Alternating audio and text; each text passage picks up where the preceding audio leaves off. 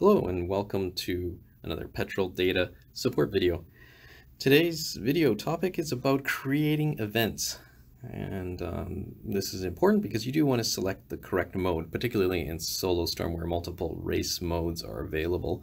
If the correct race mode isn't selected, then the logger will behave a little bit oddly, um, might not record your data correctly, and ultimately present it in a way that uh, will not be useful in, in, in analysis. So it's relatively simple, but um, we're just going to run through it. And here we go. So um, we have a current event here that uh, not the event that I want to record. You can see time attack there. So what I'm going to do is hit the main menu on the top left. I'm going to select configure event. And you can see here, current event is that event that was just showing there. So I'm going to tap on that. And you can select um, events that may have been created previously. I don't want to select any of those. I want to create a new one. So I'm going to tap on create new event. It's going to ask me for a, a name. So I'm just going to go test. Let's make it something. You can be anything, anything that you want. Hit OK. And then the important part as you might predict, is race mode here. So we're going to tap race mode. It is autocross, um, but we do have in SoloStorm multiple modes. Pro Solo, which accounts for two, two um, courses side by side. Hill climb, uh, emphasis on elevation, and time attack. Now, time attack is going to cover any any event that's held at a traditional race track uh, where you're lapping over and over and over.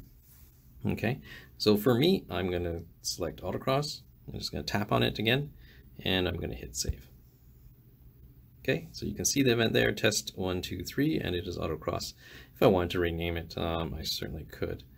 Um, and then there's some other options here that we'll cover in, in other videos. We'll go back and you can see test one, two, three, autocross. All right. Now, if for some reason you've realized at this point oh, I've, I've, I've messed up here.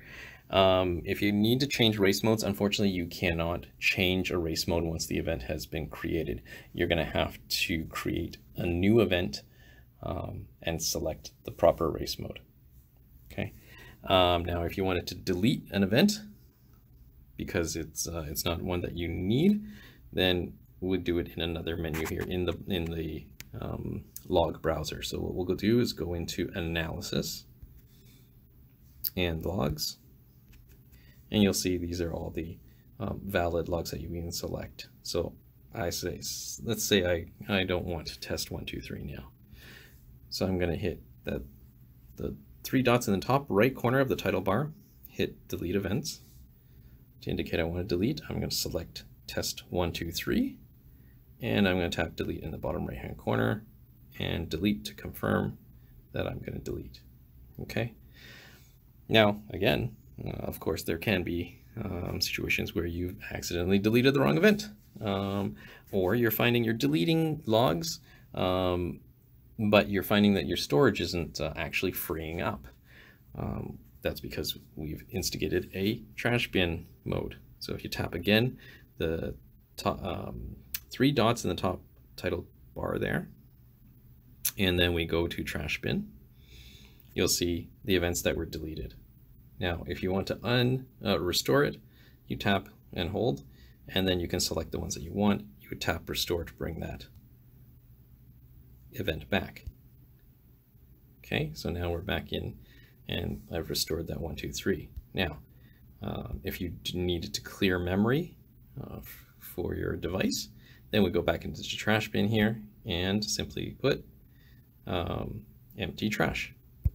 Tap it here, you will be warned and it cannot be undone. So you want to be sure that you want to remove these, these logs. Hit delete and the trash is done. And that's it. Hopefully that's helpful to you and we'll see you next time.